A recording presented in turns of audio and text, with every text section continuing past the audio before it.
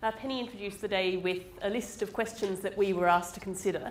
Um, and I went away and considered these questions and came up with three questions of my own. And on considering those questions further, I found I had even more questions. So I'm sorry, my presentation is again going to be perhaps one that poses more questions than, than it answers. A few days ago, I had to fill in um, an ethics approval form for a student that I'm supervising. I'm sure you're all familiar with what these forms look like. There are two boxes. One says the proposed research raises no ethical issues. The other one says the proposed research raises ethical issues which are set out on the attached application for ethical approval form. Please tick one. Now, this student's project was actually on the ethics of public funding for human enhancement technologies. So it not only raises ethical issues, it is in fact fundamentally concerned with them, with identifying them, analysing them, interrogating them, and so forth.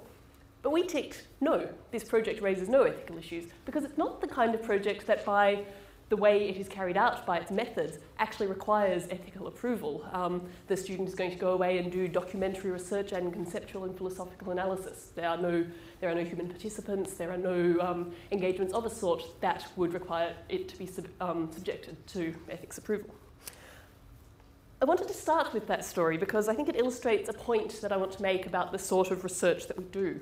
In the first question that I posed, um, which is in my abstract on, on your program today, I draw a distinction between ethics in research, so the sort of issues of social and ethical responsibility that are encountered by researchers, including social researchers, in the course of carrying out their work, and our concern with making sure that research is ethical. So that's on one hand. Um, and on the other hand, research in ethics, in other words, ethics research, which is what I do. So that's the subjects, the methods, the analytical approaches and toolbox, and the outcomes that comprise ethics as a research discipline. We've been concerned so far today mainly with the former, so ethics in research. And I think my task, to begin with at least, is to, um, is to explain the latter. To look at what research in ethics means and does, um, what it is we do, and to discuss how that relates to ethics in research.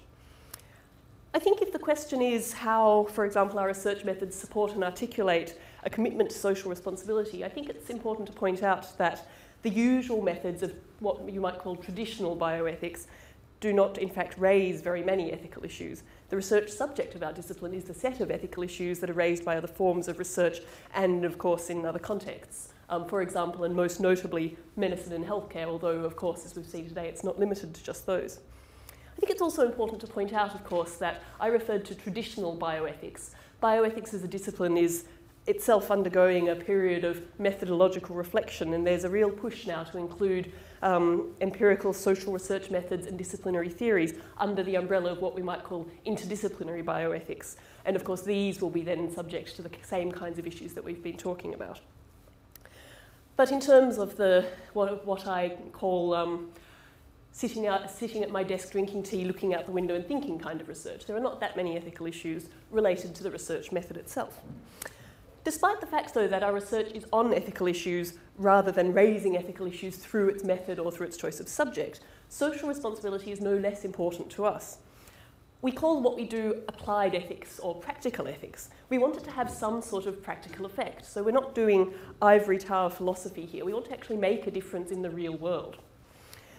So how does this apply then to the question of ethics with respect to social research methods in particular? Well, when you talk about research ethics in my discipline, usually, most of the time, what you mean is clinical or scientific research ethics. So social research ethics in the past hasn't really been something we think about very much. Um, for example, if you look at the number of papers that are out there on clinical research ethics versus social research ethics, um, it doesn't mean there are none. There are, there are very good papers on social research ethics, but it's a vastly disproportionate number. And in general, there has been quite a disconnect between the ethics research community working in what we call bioethics and those people who are working on the ethics of social research methods. So the, there's not very much, um, not very much join up between those two. I think there are many reasons for this. One reason is that um, bioethics or biomedical ethics, if you like, as a discipline grew largely out of firstly medical practice and the ethics of professional medical practice, and then later advances in bioscience research. So it's always been very sort of medically and scientifically focused. Another reason, of course, is that healthcare and medical treatments are very high profile. Um, and health and bodily integrity are so fundamental to human welfare in many ways that interventions directly affecting these are perhaps seen as more topical. But of course, and as we've seen illustrated today, the boundaries between medical interventions and social implications are by no means clear cut. There is, in fact, a trend, as I said, in bioethics now towards incorporating knowledge and methodologies from other cognate disciplines, and that's one way of recognising this blurring of the boundary. How can we talk about, let's say, the ethics of health without drawing on health sociology to examine, for example, how our concepts of health may be socially constructed and how this will then affect our ethical analysis and what we do in practice?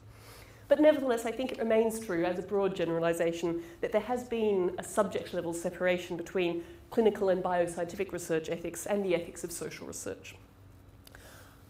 However, ethical issues in social research, in a lot of ways, I think both recapitulate and cast new light on familiar topics from clinical and scientific research ethics. Um, so, for example, David this morning commented on the social relationship between the researcher and the participant, and he flagged up the question of whether research should do good or whether researchers themselves should get involved in doing good in the course of their research the danger of misconception that participation will lead will lead to rendering aid and so forth. And I think in a lot of ways, to me, that mirrors the tension in clinical research between the clinical duty of care to the patient on one hand and the need to maintain scientific objectivity on the other. So your concern for your research participants versus your concern that the research not be, not be affected by your actions. Um, the misperception about participation leading to aid in some ways mirrors perhaps the therapeutic misconception which can occur during clinical research. So I think one question, and I said I would have more questions than answers, one question that arises in my mind is actually whether the ethical thinking that we've developed in one context could also contribute to ethical discourse in another. So whether our thoughts about how we address and how we try to resolve these issues, these problems with respect to clinical research could somehow inform our analysis of these same issues in social research, and of course vice versa. To give another example, I went to, I was lucky enough to go to one of the Methods of Manchester sessions earlier this year, which was on blog analysis, and one of the things that was discussed was the ethics of internet research. And I saw a lot of parallels between this and the ethics of research involving genetic information in terms of privacy, um, anonymity, security of information, and so forth. Um, and I was ha having a look just out of curiosity to see whether there's been any work done that actually links up these two concepts. Um, all I found so far was a paper in, in French, um, in a French journal that I hadn't really heard of before, and since I don't read French, I've been unable to make much sense of it. But what that says to me is that people are not going around all the time saying, let's learn from each other, let's cross over between these. It's really, I think, an underexplored field of ethics research to look at what the synergies are between these two areas. Okay, the second question that I, that, that I asked that's in the abstract is what's the role of ethics research, in other words, what, what I do, in shaping policy and practice as far as what constitutes ethical research across other disciplines? I think now's the time to say a word about procedural ethics. So, ethics committees, the approval forms that I mentioned that we're all familiar with, and so forth. What is or what should be the role of these mechanisms in modulating research practice? Um, I thought there was a really good comment earlier about um, how ethics in research is all too often limited to procedural concerns about the study design and does it get through the ethics committee.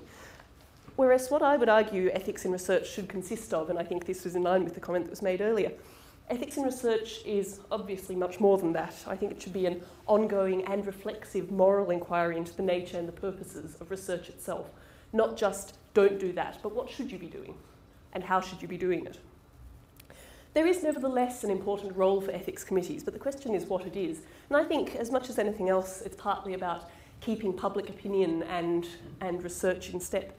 Um, we had a discussion earlier this morning over coffee about the role of lay participants in ethics committees, and I pointed out that if you are having an expert committee on almost any other subject, let's say um, engineering or an environmental consultation, you specifically wouldn't want general lay people for their lack of expertise. You would be looking to people who actually have some kind of relevant background. So, what is the role of the public opinion in terms of modulating the ethics committee's decision? And I think it is partly there to maintain trust in science, to, to keep public opinion side by side with what, what research is doing.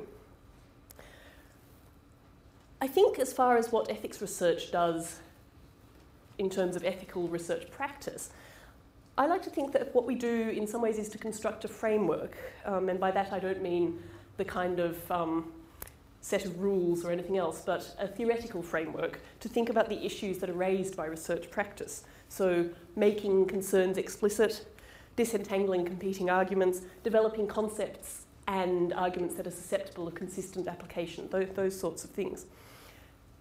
And I think that puts then a duty on people who sit on ethics committees and on researchers themselves to be aware of developments in ethical thought and how these might apply to shape their own research methods and practices.